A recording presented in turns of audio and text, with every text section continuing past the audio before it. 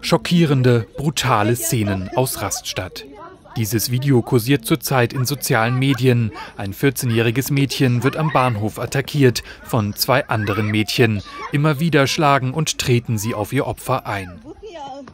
Das angegriffene Mädchen erleidet schwere Verletzungen und muss ins Krankenhaus. Die Angreiferinnen konnten inzwischen ermittelt werden und müssen mit Strafanzeigen rechnen. Warum die umstehenden Zeugen nicht eingegriffen und sogar mitgefilmt haben, ist unklar. Fahrgäste der im Bahnhof stehenden Züge sahen laut Polizei ebenfalls keinen Anlass einzuschreiten oder über Notruf die Einsatzkräfte zu alarmieren.